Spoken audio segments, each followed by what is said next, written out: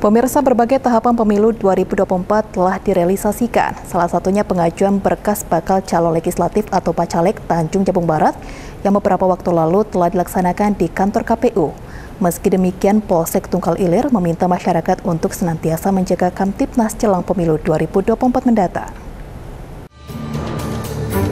Keamanan dan ketertiban masyarakat merupakan tugas pokok aparat penegak hukum dari kepolisian terutama jelang pemilu 2024 mendatang.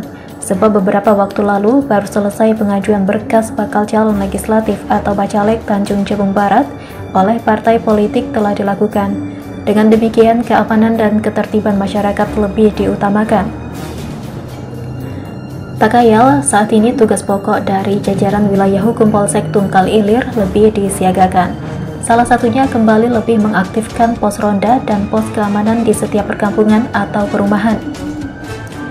Kapolsek Tungkal Ilir AKP Agung Herwi Bowo mengatakan, keamanan dan ketertiban di suatu wilayah agar selalu kondusif dan aman merupakan tugas bersama, bukan hanya dari kepolisian, namun peran penting seluruh lapisan masyarakat diutamakan, dengan harapan terkhusus Kabupaten Tanjung Jabung Barat atau Kota Kuala Tungkal selalu aman dan kondusif terima kasih kepada warga masyarakat Kuala Tunggal yang memang sebentar lagi mau melaksanakan pemilu.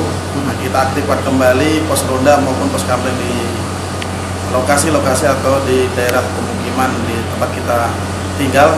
Dan jangan lupa pada saat masyarakat meninggalkan rumah ya seyoginya kita cek terlebih dahulu pintu jendela untuk terkunci dan jangan lupa dengan bahaya api yaitu bahaya kebakaran untuk dimatikan terlebih dahulu.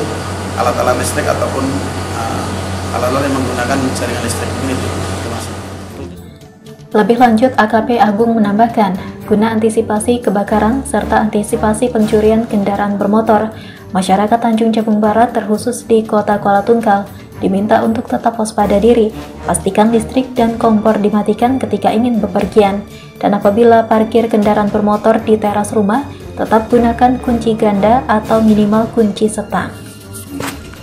Surya Kurniawan, JEK TV, melaporkan.